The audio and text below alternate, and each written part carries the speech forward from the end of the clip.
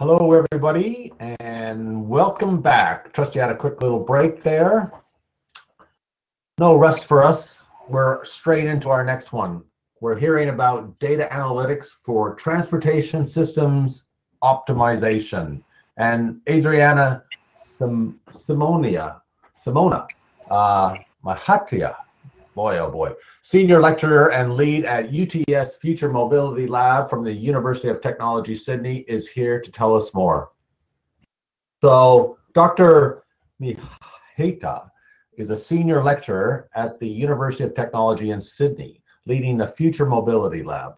Her focus is on synergizing traffic simulation and optimization techniques by using artificial intelligence to improve the traffic congestion, the, predict the accident incident duration, build multimodal public transport optimization, and evaluate the impact of electric and connected autonomous vehicles. Dr. Maheta holds several leaderships leadership roles in various initiatives, such as the Australian Singapore Strategic Collaboration Partnership via the ARC Linkage Collaboration, the Electric Vehicle Modeling Impact with the Australian Energy Market Operator, the Premier's Innovative Initiative with TFNSW, previously, as previously being part of Data 61, on the demand mobility trials in the Northern Beaches run by Keolis Downer the investigation of positioning accuracy of connected vehicles operated by Road Safety Center in TFNSW, etc. She's a group winner of the 2018 National ITS Awards, awarded the IEEE Senior Member in 2020, and a finalist in the 2019 Smart Cities Award, and a nominee for the 2019 Prime Minister's Science Awards. We are so lucky to have you here today um, Adriana. Thank you very much for coming and sharing your stuff with us. Thank you, David, for the introduction. And indeed, my family name is a bit hard to pronounce. Um, and uh, it's originally Mihaita, but a lot of uh, uh, consonants in there. So just Simona, it's totally fine. Thank you so okay. much for okay. Thanks, Simona. Um, good morning, everyone. I hope you see my screen now. All good. Um, so my name is Simona. As David said, I'm currently a senior lecturer in the University of Technology, Sydney. I am part of the elite research organization, the Data Science Institute, and I'm currently leading the Future Mobility Lab, uh, giving the topic of uh, today's event, which is around using public sector data in order to provide insights and uh, valuable data analytics, I thought that a perfect topic would be to talk about our work around the data analytics for transportation systems. I am presenting today, but uh, behind the work that I will be talking about, there are many other collaborators, and I would like to um, say a big uh, thank you, first of all, to our um, executive director, distinguished Professor Fang Chen, who is leading our work in this whole data science uh, space, but also my colleagues, Yang Yuming Tuo and Seunghyeon, for contributing equally to this work. Um, that being said, I'm going to start by giving you an introduction in who we are. Some people have heard about us, but maybe are many are not familiar. And then I'm going to talk about how we have used um, various uh, data sources in order to provide um, insights and useful um, information with regards to bus movement, um, the GIS platform that we have built in order to understand the impact of COVID-19, especially last year. Um, I'm going to talk about uh, also how we use uh, real-time data in order to estimate the bus speeds on our roads and then the last part is going to focus more around train modeling and what type of data we have built in or we have used in order to build um, dedicated train modeling uh, systems. Um, so University of Technology, for those watching from Australia and are familiar with, but from those watching from internationally, we are currently very happy. Just two days ago, we have been ranked number one in Australia by the academic ranking of world universities for computer science.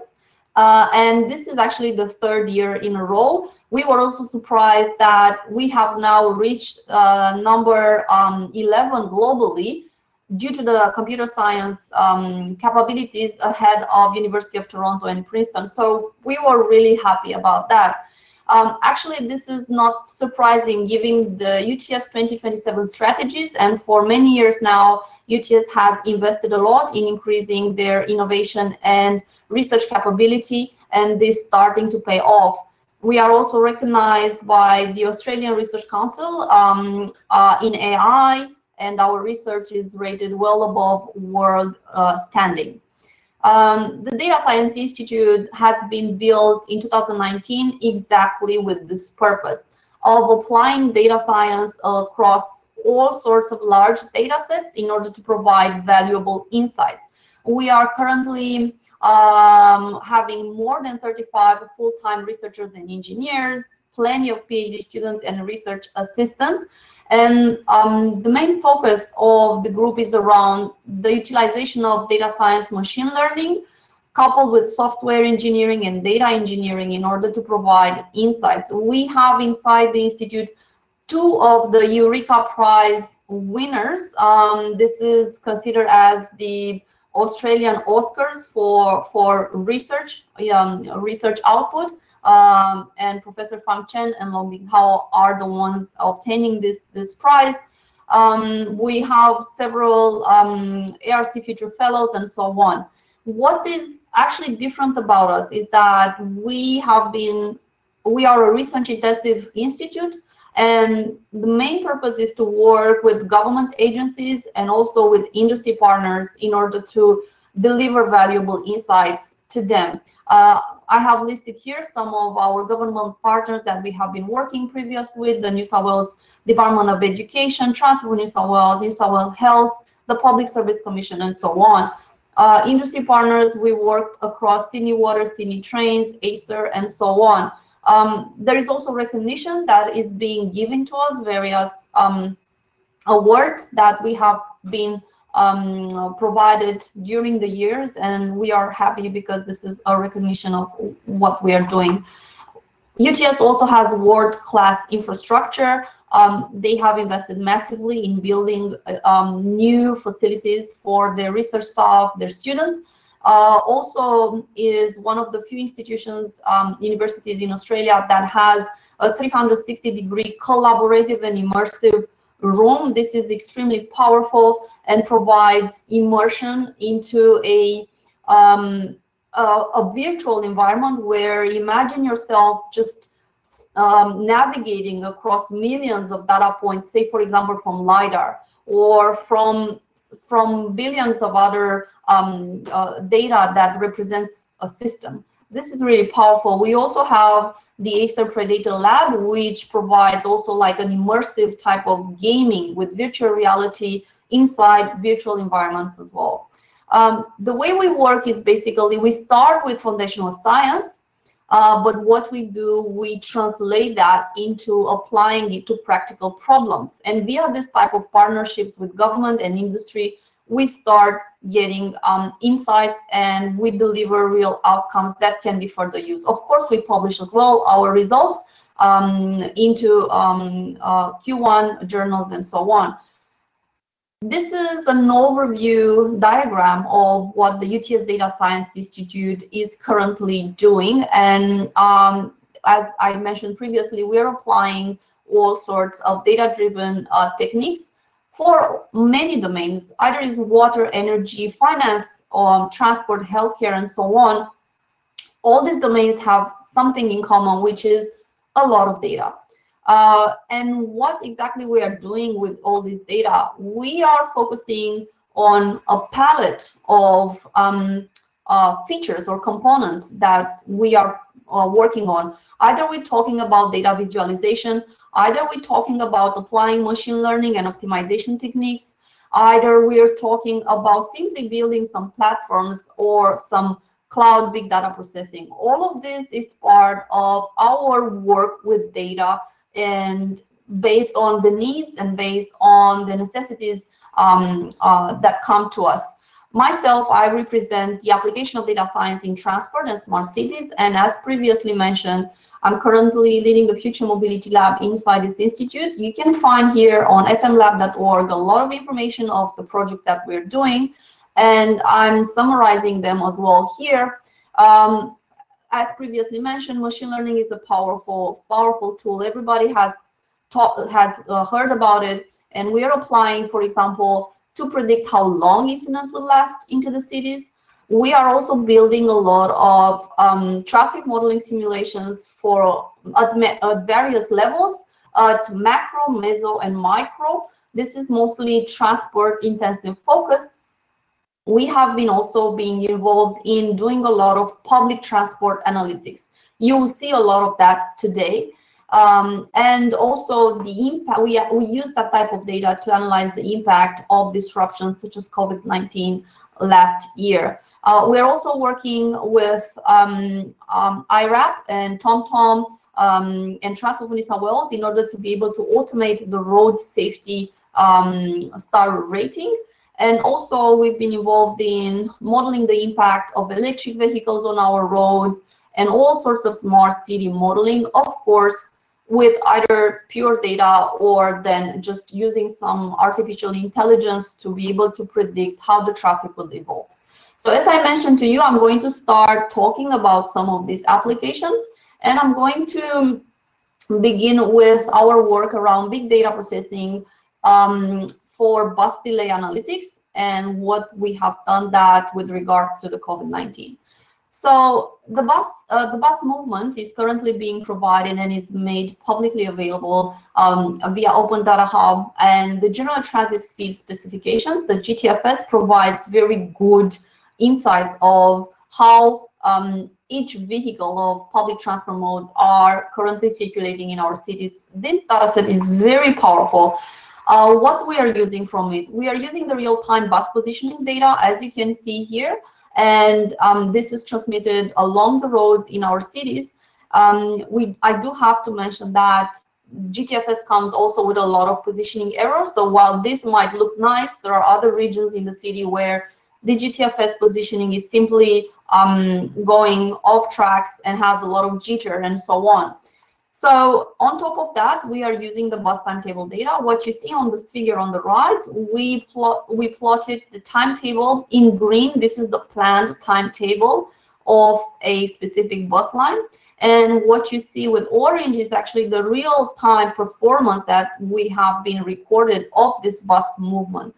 So as you can see, sometimes buses are on time and they manage to get in time to the um, planned bus stops. However, when they get into more congested areas into the city, they start accumulating delay, which is very hard to catch upon until even the end of the trip. Sometimes this delay can be even worse. On top of that, we are using the bus stop geolocations, as you can see in this mapping figure here across the entire city of Sydney, plus also the bus routes and stops from uh, from all the roads. This allows us to match those GTFS points to a planned route and also um, a dedicated stop um, uh, in the city. There is an entire process behind, so this presentation might be a little bit more technical than the other presentations. Um, I'm not going to go in a lot of details. I'm just going to say that we are interrogating the bus positioning data APIs. We are crawling the positioning data every five seconds, but the timetable and network daily we are saving all this data set and we are also checking from duplicates. One of the big challenges when you have real-time data sets is that you can have a lot of duplicated information or even missing information for quite a period of time. And this is not really helpful in order to build any type of analytics. So in order to do that, you need to be able to first detect and then get rid of unuseful information. Once we do that, then data is persisted, that's fine. We can proceed to store that data. Uh, next, are actually going to the LGA's level. The LGA stands for local government um, areas, and these are standard definitions um, that are being used currently um, uh, in all the cities across Australia. And these are standard reference for whenever you want to have good analytics um, across a specific part of the city. So what we are doing with all that data that I just showed earlier, we are matching it. First, we are matching it to the road, and then we are matching it as well to this LGA um, uh, areas.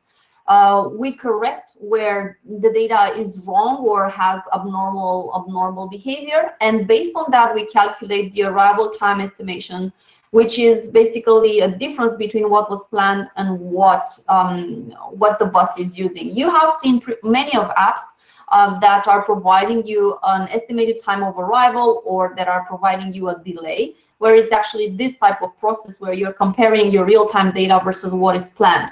So we are storing absolutely all this information and we've been doing that for quite a few years, which allows us to have very good analytics of what happened to the entire uh, public transport network before and after specific situations. So COVID-19 started last year and it peaked around March. Um, the figure on the left, colored in blue, uh, actually shows the evolution of COVID cases around Sydney, and the darker this color goes, it means that the higher number of COVID cases have been registered. So we kept a track on that. And in parallel, we also kept a track on what was happening on the public transport in the city of Sydney. So where you see a difference in colors, the, the, the more intense the color, then basically there are some weird phenomena happening with the transport um, movement as well into the city of Sydney. And after close uh, investigation, we split this analysis into two parts. Um, we looked at the area A, which was uh, central CBD and eastern suburbs, versus what was happening in area B. It's more like the west part of the city of Sydney, and wanted to see how this whole situation affects people moving in two different parts of the city. What we actually realized, it, it was really surprising. In this figure, you have a comparison of bus delay, average bus delay accumulated in um, central and eastern suburbs in February last year, and then versus March last year. So one month apart from each other. So definitely when before COVID, um, buses were accumulating a lot of delays um, along many routes um, into the city. However, when COVID came and all the travel restrictions started to happen, all of a sudden the public transport network, the bus network, was performing at fantastic, um, fantastic KPIs. So the delay seems seemed to have gone. Of course, less traffic on the road, which impacted of buses that were using shared uh, lanes, and therefore a very good performance of the bus network. However, uh, this was not the same in all the city of Sydney. While definitely in the eastern suburbs there was an improvement, um, as you can see here, we looked at the distribution of this um, average delay before the one marked in blue and after the one marked in um, uh, brown.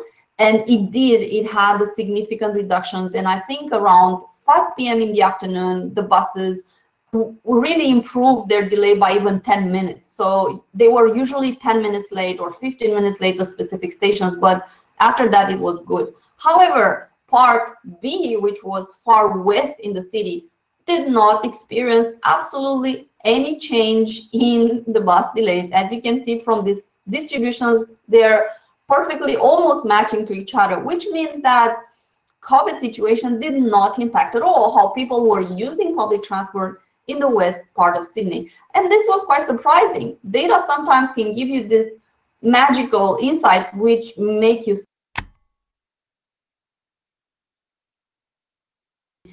So going next, um, I was saying that we uh, worked for the next stage together with Dr. Jan Opperman, and we built um, a more uh, larger piece, which is called the GIS Analytics Platforms, to not only look at the travel movement around the city of Sydney, but also looked at other aspects and other factors.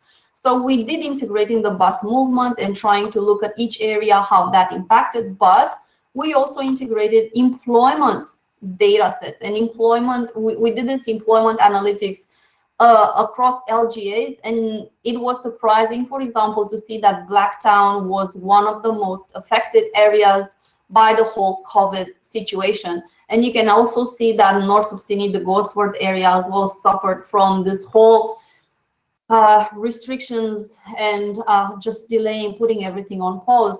We also integrated the rate, um, the rates of um, uh, rents across the city of Sydney. Um, as you know, more people were moving out of CBD, did not want to come to work anymore, or they couldn't.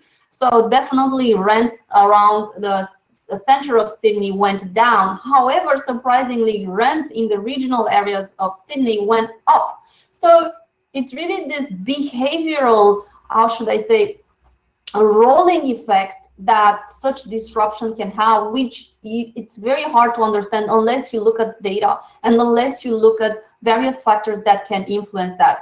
I think we also merged the bushfires analytics as well into this to see, uh, for example, the Eurobodalla, which was really affected last year, and so on. So the the power of the power of this GIS analytics it's it's extremely huge and can give you insights at, broader different levels um, uh, enabling decision making.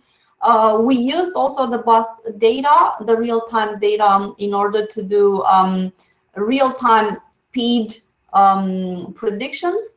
Um, as you know, currently the um, um, the travel times around our cities uh, are provided by some of the major major platforms, Google Travel Time and so on. However, they are aggregated based on individual contributions of movement. Instead, this type of real-time GTFS data can give you exact positioning of buses. So when you are merging all this data information, you can have very good insights at every hour of the day, how uh, your public transport um, speed is being affected, what road uh, sections are mostly affected, and make decisions afterwards. So very powerful. Um, the last part is going to be around train modeling. So um, I'm going to talk about two cases, V/Line, the work we've done for V/Line Victoria and also for Sydney Trains. Um, when you're talking about, I want to do a, a train modeling, a lot of people may think, oh, that's cool, that's nice. However, this is just a snapshot to say how much data is required to be put into even um, a train model. So first of all, you need the base network layout of that network. You need to know the segment interconnections, how different segments of your train network are being connected with each other. You need to know the timetable information, both planned and also real-time information. When you do integrate that, also you need to know your train specifications, how many carriages, how what's the max speed of each train that is, is circulating in the network you need to know passengers, where, how many passengers are boarding, onboarding and off-boarding. Um, you need to know traffic signal information, how these are changing together with your timetable. And last but not least, if you want accidents, you need to have um, traffic accident information. So as you can see, a lot of data is required if you really want to have like a good modeling of your network. Um, this is just a video example as I said, for V/Line, we have built this modeling situation uh, and we integrated all the previous data set that you have seen uh, into one model. Why would you ask me? Uh, there are two major reasons. One is for operational planning, um, timetable evaluation, optimizing specific um, specific times at specific stops, but also the major reason was also to evaluate the resilience of the network when we're having disruptions, either incidents that are being signalized or either either planned or unplanned. Because this type of platform giving you, once you put all the data together, it's extremely powerful to see um, how your network behaves under under such disruptions, and you can test what if scenarios. You can make a lot of precious decisions that otherwise it will be very hard to make. We use that also for incidents. So um, um, we all know about the uh, train cascading effect. When an incident happens, basically all the trains are blocked uh, along one line. So this allows you to really know which stations are impacted and for how long and what should you do next in this cascading effect of train um, uh, uh of, of train being affected. And from the passenger side, we also uh, modeled the passengers. This is a, just an example of the Tarneit station that you can see here. Um, there are a lot of people in and out of the stations. And this was early morning, um, an incident that happened um, uh, on the station only for the people going to CBD. So people going um, outbound from center to the peripheric, not a problem. However, uh, people going to the CBD were affected. So as time goes by, basically more and more people starts to accumulate on the platforms. This is a 3D view of the same station. And this allows you to understand where people, in case of disruptions, where do they accumulate on your platform? Um, what can you do to better redirect them, um, and so on. And they were even surprised to find out this this type of powerful uh, insights into the pedestrians moving in and out of the platforms. So this these are some examples of how data can provide you these valuable insights of how people move, how your system moves entirely, and, and then plan ahead or react when you need. For Sydney trains, uh, things are much uh, developed. Um, there are, uh, throughout the several years, we have had on our hands several data sets. We've built data mining um, uh, procedures uh, for them. We applied machine learnings as well in order to predict, for example, uh, the dwell time and delays. You'll see an example of computer vision as well. So it's a it's again very rich in data. So we basically start with understanding what data is needed, uh, gathering that data together, and then building this data-driven anal analysis and platform that they can use to understand what's happening into the network and of course visualize it. So several products have been uh, constructed from performance analytics to the delay propagation estimation, also tracing back delay across the lines, where it happened, why, and then finally evaluate the timetable. Um, this has been very powerful and um, very useful to them. Also, in terms of passenger flow analytics, um, we have built computer vision algorithm using data, video data.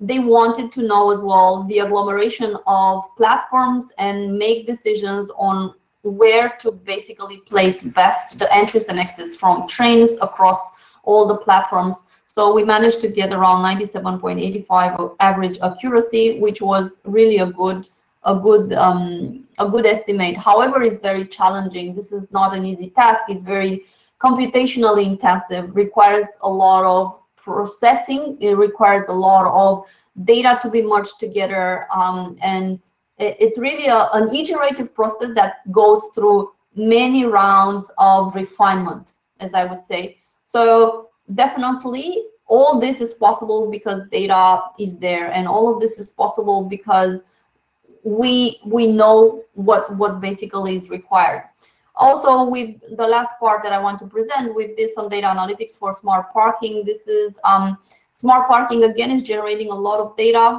in our city and uh, people operating these smart park parkings, they want to know when my parking is used at most, for how long, why are people not staying more in my parking, what should I do to incentivize that, increase, of course, the, the profit out of it, and so on. So we're currently working, um, this is Mornington Peninsula in Victoria, um, to build not only an integrated platform, but also a more smart predictive modeling that could tell you which parking slots are most uh, likely to be occupied for how long and so on. So we are currently building again an integrated system which is based on real-time information, but also on um, the KPIs, the arrival rate, state duration, and so on. Um, this is work in progress and we're currently working to build the forecasting models and eventually the revenue estimations. Um, that being said, um, th this whole examples that I, I have uh, provided today um, are simply made to to tell one big picture story. What is that? In order to build absolutely any type of analytics, analytics platform, you need to start with good and valuable data sets. If data is made available, then um, anything can be built out of it. So priority number one for any type of system that needs to be built is let's have access to that data. Also, not just have access to one small set or, or a small subset of that data is the most important is to have good and reliable data sets which have like a good frequency and a good completeness sometimes we see in our experience a lot of data sets that are being chunked or they are incomplete or they are basically um, put um, put with um, a high frequency um, so really sorry about that. Um, and this is actually influencing a lot um, the outputs. The rule number one is, as you know, if, they, if the data that you're using is of bad quality, the output is, is going to be of bad quality. So um, th this is the lesson learned. The other thing that we've learned is that real-time data sources are extremely powerful and extremely important in order to understand how people make decisions, how people move, how your system behaves, or in order to have a global overview of the this economic situation around our cities, it's extremely important that we have access to good, reliable, real-time data. Uh, I also want to mention that data is one thing, and as data scientists, we are trained to work with that, not a problem. However, there is a big difference between what the phenomena is revealed by the data and also what that means. So what I like to tell everybody is that you cannot simply build data-driven models without having domain knowledge. So the domain knowledge and the experts in that domain are extremely valuable to merge together the findings from that data with that domain. Sometimes, you know, data can be can can be uh, can have a lot of errors you can't really take anything out of good uh, from it. If you're just looking at that data, then your interpretation, of course, is going to miss out a lot of what is really happening. Whereas if you have a domain knowledge expert, um, then he can tell you immediately there's something wrong with this piece of um, data set, try again, or have a look because this phenomena should not happen. So it's this combination of working with domain knowledge experts and also data analysts together is giving the most powerful combination to provide anything insightful. And last but not least, um, this is a message towards government agencies um, which need to be aware that providing free access to these data sets, uh, especially for scientists like us, who are always passionate to try out any sorts of crazy ideas and algorithms, it's extremely a good way to get that free valuable output that otherwise you will not get by keeping some data sets um, uh, uh, how should I say protected and private only. Uh, privacy is a big issue. Uh, there's another topic for that. However, um, opening accessibility to data sets is like opening doors to another dimension of endless possibilities with that being said, I would like to end and I would like to thank everyone for their attention and I'm ready to take up any questions. Great, thanks, Simona. That was that was fabulous. Um, just sort of when you were finishing off there with, with regards to the data quality perspective, and and I guess that's that's sort of where I I, I sit in. I I see a lot of people trying to leverage these new tools and do analytics and they get excited about the tech and the tools. But then it's sort of how do you collaborate with these people that want to do data management and, and give you the best possible data and give you complete data and understood data? Um, are they in your team or are you collaborating with, with them? I think these data experts should be on both sides. so um, why do I say that? On our team, of course, the data experts are required because they need to know how to process, manipulate, build the models for predictions and so on. However, uh, as I mentioned, if there is no domain knowledge expert on the other side that knows what that data is, is talking about, right? we can only play with it and gain insight. So this is, for example, the perfect example was for V/Line, where they have so much information, so much data. It's extremely powerful. However, for us, we didn't know how to interpret it. They're the main, the main knowledge experts. They are the one that told us, oh, pay attention to this specification, pay attention, ah, this is not useful, this is useful, and so on. So it's extremely, uh, it's extremely funny to see that no matter how much you try, you cannot do anything if you don't have those experts that can can can raise your alerts and they are the ones who have worked in those fields maybe for countless of years. Um, so you, we need both sides we need both sides yes. of data experts. Uh, absolutely. And and if i could just uh, when when you were doing your example and you were talking about bus delays and things like that and the dimension that you chose was local government area now that's that's an interesting sort of dimension to, to fixate on, especially when now we are capable of identifying corridors and you know sort of simulate things. So is LGA a good dimension because there's some local government member that's interested to hear about it, or is there a implication of congestion um, because there's the same number? Isn't it supposed to be same number of people in every LGA? Maybe not. Um, no. but or or is it that we tend to work in an LGA and so we're we're going there? So how come the LGA? The LGA have been used for reporting all how should I say all surveys, insights, all uh, census data. I mean, all the census data is aggregated to the LGA levels. All the surveys that are being conducted aggregated to the LGA levels. It's simply they are grouped by specific regional, the regional aspects by postcodes and so on. So they are very well understood by the government officials. So that's why we we actually keep that to make it consistent. Um, however, granularity of reporting, this, this, we don't have any problem of going to corridor levels, you know, like neighborhood levels, street levels, and so on. That's not an issue. Um, it's just being consistent to what what is well understood and what can help better to make this this plan decisions around large areas. Yeah, I'm not, well, I'm not surprised you've got all the data and you can go to that level of detail. I might just finish up with one more here. It was a question that was coming in about talking about people in the um, uh, in government agencies that want to get in in, in touch uh, with UTS. Do they would they come to talk to you specifically to find out more about um, how to engage UTS, whether it's from advice or guidance or some support? Would they can they contact you directly?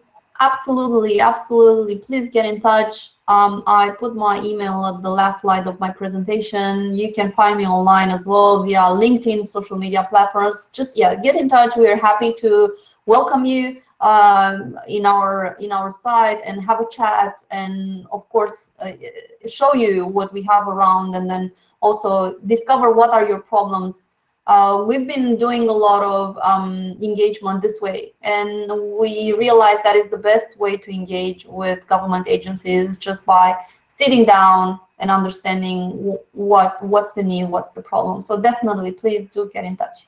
Okay. Well, I hope a lot of people are uh, sending you messages right now. Simona, thanks very much for sharing that. That was a great, that was a lot of data that you compacted. And of course, transportation and data, uh, yeah, it, it's great. I, I worked a bit with Queensland Transport and um, that I just love the data. And, and, and so, um, folks, thank you. Folks, we're now going to go on a bit of a lunch break. So